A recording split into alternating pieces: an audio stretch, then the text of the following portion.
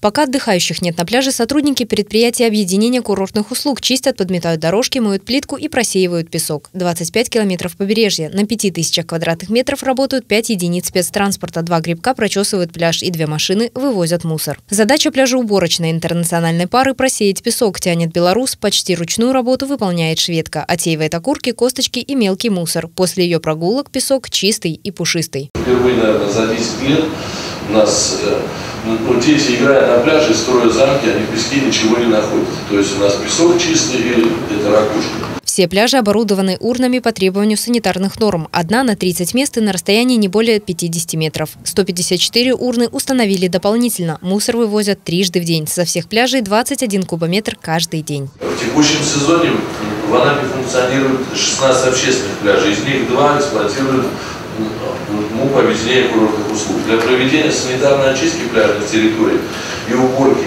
это от водорослей МУПАКУ привлекает 45 уборщиков. На каждом общественном пляже уборкой занимается от 5 до 7 человек. За период 2013 года с пляжных территорий Анапской бухты вывезено 531 машина водорослей, что приблизительно составляет 11 тысяч кубометров.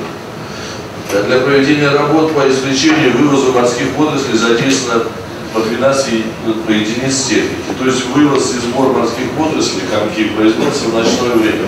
С 7 вечера до 6 утра. Песок после такой чистки просеивают и возвращают на пляж. Оборудованы медицинские спасательные посты, дежурят спасатели. Работают душевые мойки для ног. В бюветах прохладная даже в жару питьевая вода. Для тех, кто не любит прямые солнечные лучи, зонтики навесы. Все доступно для всех. Главное отличие пляжа в этом году – нет назойливых торговцев, предлагающих пиво рыбу раков. Незаконную торговлю пресекают и напоминают отдыхать отдыхающим правила безопасности через радиоузел. Во время купального сезона и в равной степени ближе администрация муниципального образования производит постоянный контроль, мониторинг пляжных территорий и обеспечивает контроль за исполнением мероприятий по санитарной очистке. На сегодняшний день санитарное состояние пляжа удовлетворительно. С такими результатами специалисты и работники МУПАКУ и закрепленной здравницы переводят пляжи Анапы в последний месяц курортного сезона. Наталья Пухальская, Игорь Куршаков, Анапа регион.